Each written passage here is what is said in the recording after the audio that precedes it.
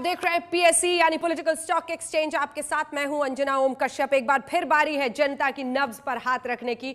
और इस बार, जी हाँ, तमाम राज्यों से होते हुए हम आपको पूरे देश की तस्वीर दिखाएँगे। ये दिखाएँगे कि अगर आज चुनाव होते तो पीएम की रेस में कौन कितने से आगे बढ़ता, कौन पीछे छूट जाता। और इसीलिए ये आंकड़े जो आने वाले हैं, बहुत दिलचस्प आपके टेलीविज़न स्क्रीन पर। लेकिन इससे पहले कि हम आपको आंकड़े दिखाएँ, बता देते हैं कि क्या है मेथोडोलॉजी यानी कैसे हमने ये सर्वे किया है 540 संसदीय क्षेत्रों में हम गए। दो लाख सोलह हज़ार 235 है हमारा सैंपल साइज़। यानी हमने दो लाख सोलह हज़ार दो सौ पैंतीस लोगों से बात की है। सर्वे का वक्त 25 अगस्त से लेकर 31 अक्टूबर तक है। इससे बड़ा सैंपल साइज़ नहीं हो सकता है किसी सर्वे का, और इस सर्वे के ज़रिए अब हम आपको बताने वाले हैं कि प्रधानमंत्री की रेस में क्या समझती है जनता। लेकिन उससे पहले आपका परिचय उन खास मेहमानों से करा दे जो हमारे साथ इस चर्चा में आज शामिल होंगे। सुधांशु त्रिवेदी जी, राष्ट्र प्रवक्ता भारतीय जनता पार्टी के, पवन खेड़ा जी, राष्ट्र प्रवक्ता कांग्रेस पार्टी के, मनीषा प्रियम जी, वरिष्ठ पत्रकार हमारे साथ इस चर्चा में शामिल हो रही है। और अब नर्व्स पर हाथ रखिए जी हाँ आइए अब आपको दिखाते हैं कि अगर आज चुनाव हो तो पीएससी के मुताबिक कौन है रेस में आगे? जब हमने जनता से यह सवाल किया कि पीएम की रेस में कौन है उनका पसंदीदा चेहरा तो देखिए जनता की राय क्या थी? मेरे दोनों ही तरफ़ हाथ नज़र रखिएगा, क्योंकि एक तरफ़ प्रधानमंत्री नरेंद्र मोदी का यह आंकड़ा बढ़ रहा है तो दूसरी तरफ़ राहुल गांधी भी बढ़ रहे हैं, लेकिन बत्तीस पर राहुल रुक जाते हैं और छियालीस पर रुक जाते हैं नरेंद्र मोदी। तो यह है तस्वीर जिसमें हम आपको दिखा रहे हैं कि प्रधानमंत्री नरेंद्र मोदी जब चेहरे के तौर पर पीएम की रेस में पूछे जाते हैं तो देश की 46 फ़ीसदी जनता दो लाख सोलह हज़ार दो सौ पैंतीस में से यह कहती है सर्वे में कि वो चाहते हैं मोदी प्रधानमंत्री बने। अब दूसरी तरफ़ का ज़िक्र करते हैं और आपको दिखाते हैं कि राहुल गांधी के लिए कितने लोगों का दिल धड़क रहा है, यानी वो राहुल गांधी को पीएम देखना चाहते हैं तो 32 फ़ीसदी लोग यहाँ पर हैं। दिलचस्प होगा कि ये फासला जो आप 14 फ़ीसदी का देख रहे हैं, ये क्या 2019 की रेस में अभी और भी ऊपर नीचे हो सकता है? ऐसी उम्मीद पवन खेड़ा जी करेंगे और सुधांशु जी कहेंगे कि नहीं, हम आगे बढ़ेंगे। लेकिन इससे पहले कि हम इनका, इनकी प्रतिक्रिया इस पर ले, जल्दी से आपको अन्य आंकड़े दिखा देते हैं। दिल थाम कर बैठिएगा। S C S T OBC, मुस्लिम कौन, किसकी तरफ़ ये सब दिखाएँगे, लेकिन कामकाज के साथ शुरुआत कर रहे चौवालीस फ़ीसदी इस सर्वे की जनता ये कहती है कि वो नरेंद्र मोदी के कामकाज से संतुष्ट है।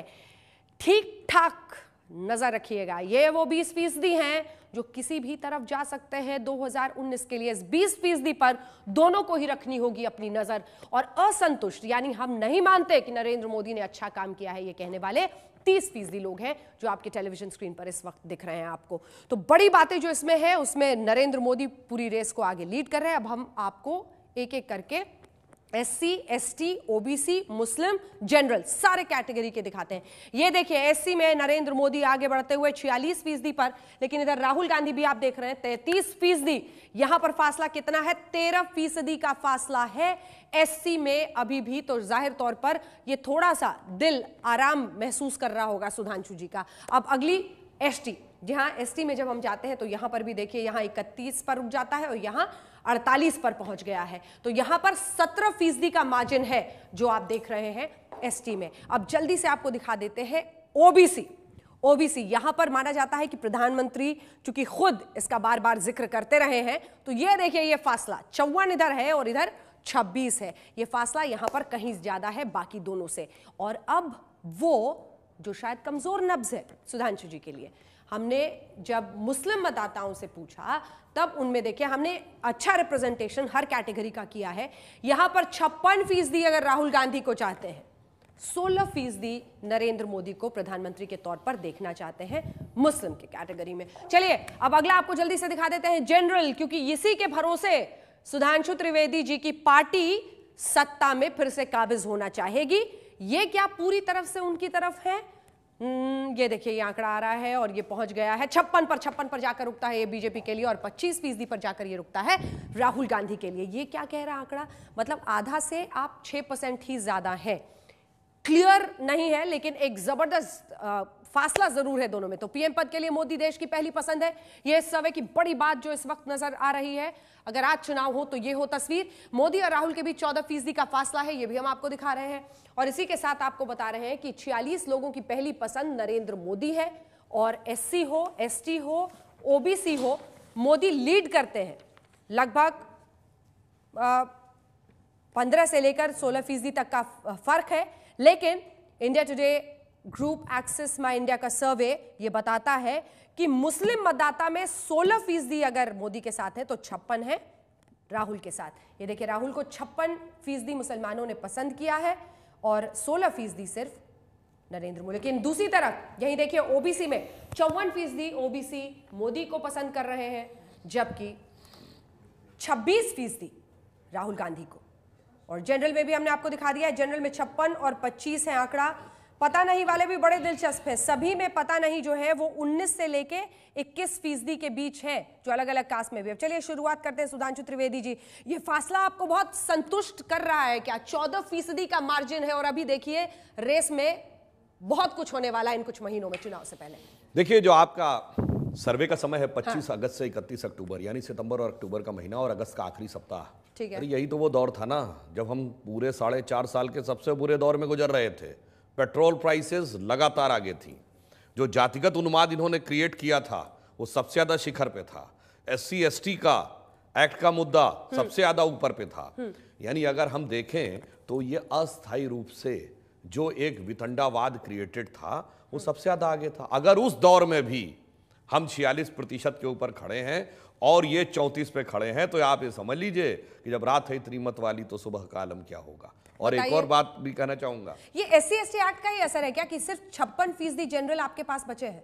मैं सिर्फ़ ये कहना चाहता हूँ टोटल अरे भाई पेट्रोलियम के प्राइसेस बढ़ गए अंतरराष्ट्रीय कारणों से। आज ही देखिए समाचार आया है कि अब ईरान जो है वो हमें इंपोर्ट करने को देने की परमिशन पेट्रोल की कीमत बढ़ जाए एस सी एक्ट ये ले जाए जब हो लेकिन मोदी जी ही पहली पसंद है। इनका प्रचार प्रसार का जो बजट है, वो भी इस आंकड़े में कहीं शामिल होना चाहिए। उसके बावजूद अगर ये हालत है, कहाँ पहले आप देखते थे कि मोदी जी हर जगह चारों तरफ़, देश में, विदेश में, डायस्पोरा में, हर गाँव धाणी में, पूरा उन्हीं का पेट्रोल पंप पे, जहाँ उनकी फ़ोटो आपको तुरंत हटा देनी चाहिए। वहाँ भी वो मुस्कुराते हुए यूँ खड़े हुए दिख रहे होते हैं। उसके बावजूद अगर ये हाल है तो आप सोचिए अगले तीन चार महीने में क्या क्या होने वाला है। अभी तो सुप्रीम कोर्ट ने एक झांकी दिखाई है। सीबीआई ने एक और झांकी दिखाई है। अब एक, एक लोगों को अब मालूम पड़ रहा है कि आपने रॉ को सीबीआई से लड़ाया आईबी को दिल्ली पुलिस से लड़ाया सबको आप एक दूसरे से लड़ा रहे हैं। उसके बाद अगर ये हालत है हम्म। आप आने वाले दिनों में अंजना जी फिर हमें बुलाएँगी एक राउंड और सर्वे का होगा आपके सामने दूध का दूध ठीक है पहले कि मनीषा जी एक बार आप रिएक्ट कीजिए। अरे वैसे एक सेकंड सर आपका तो हर महीने कोई ना कोई क्राइसिस सिचुएशन आ रहा है। अभी आरबीआई सीबीआई सब है। तो हर महीने ऐसे दो पॉइंट बोलूँगा एक जो इन्होंने कहा उसका जवाब और एक टेक्निकल अरे भाई आप तो कह रहे हैं इसको इससे लड़ाया। पहले बताइए किस आपकी चुनाव समिति में कौन किससे लड़ रहा है? जो बाहर आ रही है एकदम गर्मा गर्मी राहुल गांधी के सामने। और दिग्विजय सिंह जी कहते हैं दुश्मन भी खड़ा हो अगर तो उसे वोट देना। यानी इस कदर दुश्मनी है। और आप कह रहे हैं बापे पुत पढ़ा में सोलह दुनिया आठ। अच्छा मैं दूसरी एक और बात कहते हैं। अब देखिए एक और मैं बात कहना चाहता हूँ। आपने जो एक डिफरेंट डिफरेंट सेक्शंस में कहा हाँ। चूँकि आपने दो ही विकल्प दिए हम्म। इसलिए मेरी इस पे आपत्ति है।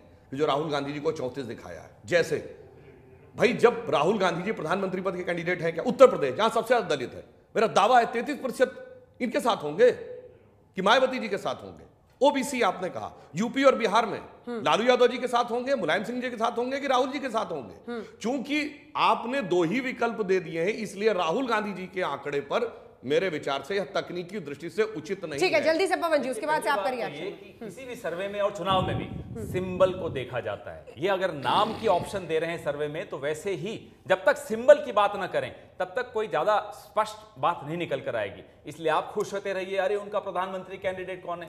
सिंबल पे वोट पड़ते राहुल गांधी के प्रोजेक्शन से सर डर लगता है आपको? बिल्कुल नहीं लगता क्यों लगता सीधा सवाल हम तो बिल्कुल चाहते हैं राहुल गांधी बने इसमें क्या दिक्कत आप प्रोजेक्ट करेंगे अरे क्यों नहीं करेंगे? कांग्रेस पार्टी आप लोग तो डर डर के कहते हैं। जो सबकी पसंद ऐसा क्यों बोल हम क्या इनकी तरह थोड़े हैं कि अडवाणी जी को धोखा दे दिया? मनीषा प्रियम जोशी क्या राहुल गांधी का चांस है? क्या राहुल गांधी का चांस है इन आंकड़ों अभी ये आंकड़े जो हैं एक तो नेता के लिए भी ज़्यादा है लेकिन सामाजिक तबकों में अगर देखें हम्म। तो किसी भी तबके में एक तो नरेंद्र मोदी आगे ही नहीं है हम्म।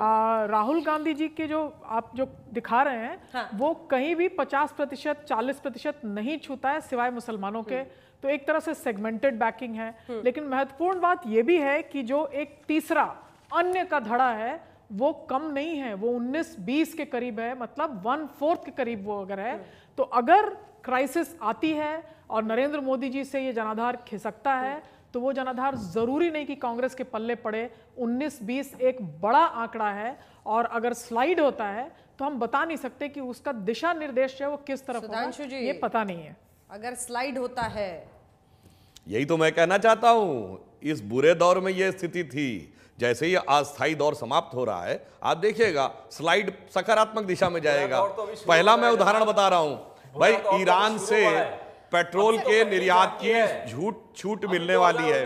है। दूसरा अरे भाई आज ही ईज ऑफ़ डूइंग बिज़नेस में भारत बिल्कुल सतहत्तरवें है, पायदान पे पहुँच गया है। है। इसलिए मैं कह रहा हूँ कि सारी की बातें सही है। ईज ऑफ़ डूइंग तो है जहाँ मेहुल भाई को भगा दिया जाए।